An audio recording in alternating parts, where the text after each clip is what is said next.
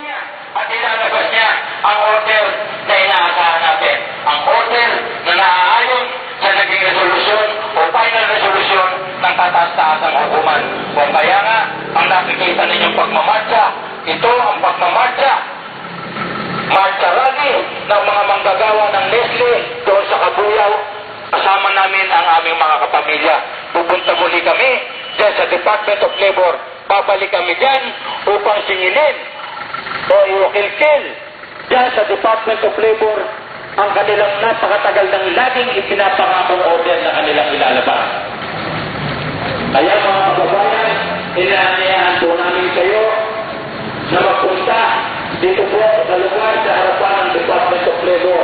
Sana mapaksihan nyo kung paano naman kami luluhoy, kung paano naman kami sa pagpumulo ng peking Pangulo na si Gloria Macapagal Arroyo na walang mahusay na plano at programa para mahagsan ang matagal ng paghihirap ng sambayan ng Pilipino at ng mga manggagawang Pilipino.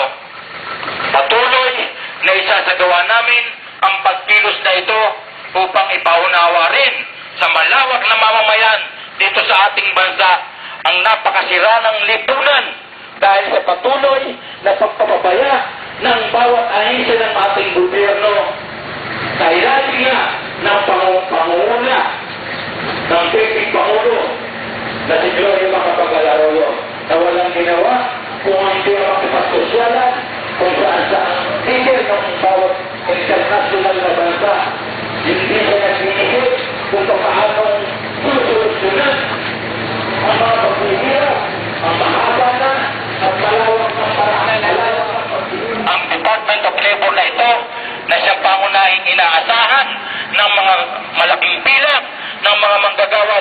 ating bansa na siyang magbibigay ng mahusay na katarungan at hustisya sa malaking bilang ng mga manggagawang Pilipino.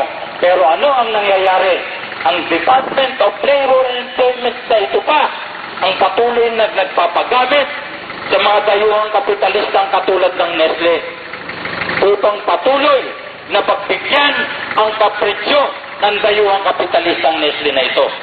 Kaya nga po, ang, pag, ang, ang pagkilos na ito na inyong nasasaksihan ay pangalawang araw na ng aming pagkilos sa, sa ngayon sa isyu ng aming ipinaglalaban. Pangalawang araw na ito ng pagpunta namin dito sa Department of Labor na ito upang patuloy na igiit na ilabas na nila ang desisyon, ang order na kanilang laging ipinapangako sa aming mga manggagawa ng Nestle.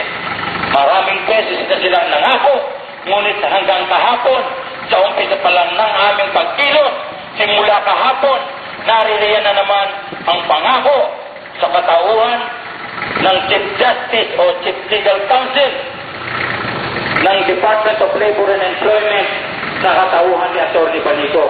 Kaya nga po, andito na naman kami sa harapan ng Department of Labor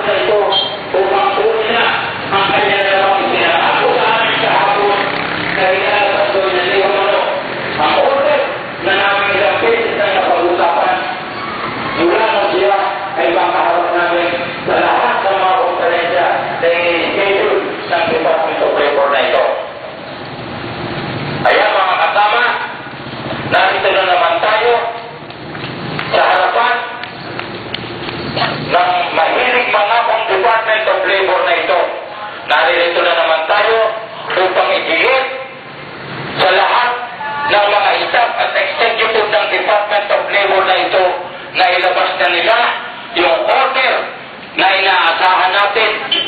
na nakabase